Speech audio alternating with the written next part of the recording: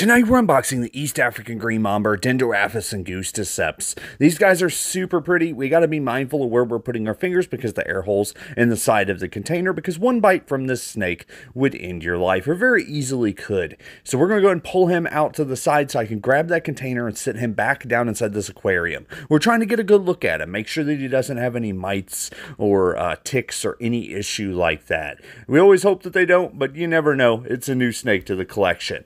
So these guys guys are found in the southern east coast part of Africa along the coastline. They do have a cardiotoxin in their venom, so essentially you would die of asphyxiation, which wouldn't be good at all. You would have complete paralysis of the lungs. Very beautiful snake, extremely quick. They could kill about five people from one bite because it only takes about 18 meg of venom to kill an adult human being, and it possesses about 100 meg for each bite. If you want to learn more, just go ahead and hit that follow.